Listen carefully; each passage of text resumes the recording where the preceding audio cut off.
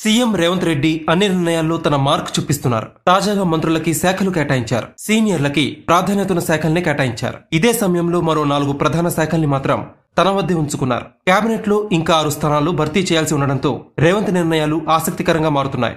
అయితే రేవంత్ సీనియర్లను కాదని తన వద్దే ఈ శాఖల్ని ఉంచుకోవడం పైన చర్చ మొదలైంది. తెలంగాణలో మంత్రులకి శాఖల కేటాయింపు పూర్తయింది.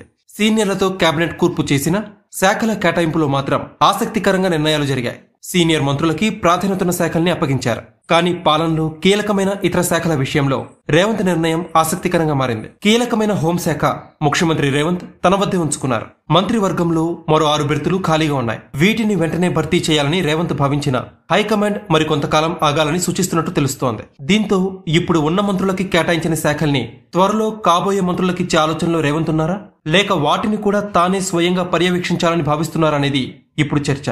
కీలకమైన హోం విద్య మున్సిపల్ ఎస్సీ సంక్షేమం వంటి శాఖల్ని ఎవరికీ కేటాయించలేదు. హోం శాఖని ఉత్తమ్ సీతక్కలో ఒకరికిస్తారనే ప్రచారం సాగింది. గతంలో వైఎస్ఆర్ రెండు వేల తొమ్మిదిలో మహిళా మంత్రిగా సబితకి హోంశాఖని కేటాయించారు. రెండు వేల పద్నాలుగు వరకు సబిత అదే పదవిలో కొనసాగారు. ఇప్పుడు రేవంత్ తిరిగి ఆ సంప్రదాయాన్ని కొనసాగిస్తారని భావించారు. కానీ హోంశాఖ తన వద్దే ఉంచుకున్నారు. అదేవిధంగా మున్సిపల్ శాఖని ఎవరికీ కేటాయించలేదు. విద్యాశాఖ ఎస్సీ సంక్షేమ శాఖ విషయంలో రేవంత్ వ్యూహాత్మకంగా వ్యవహరించారు. సీఎంగా ఉంటూ ఈ కీలక శాఖల్ని పర్యవేక్షించడం సాధ్యం కాదనే అభిప్రాయం ఉంది. ఇదే సమయంలో హైదరాబాద్లో ఫలితాన్ని పరిగణలోకి తీసుకుని మున్సిపల్ హోంశాఖల్ని సీఎం తన వద్దే ఉంచుకున్నారనే అభిప్రాయం వ్యక్తమవుతోంది. ఎస్సీ సంక్షేమం ఎస్సీ వర్గానికి చెందిన మంత్రికి కేటాయించాలి. కానీ ఈ మంత్రివర్గంలో ఎస్సీలుగా ఉన్న భట్టికి ఫైనాన్స్ దామోదర రాజనరసింహకి వైద్య శాఖని కేటాయించారు. అదేవిధంగా మైనారిటీ సంక్షేమం అప్పగించేందుకు ప్రస్తుత కేబినెట్లో ముస్లిం వర్గానికి ప్రాతినిధ్యం లేదు.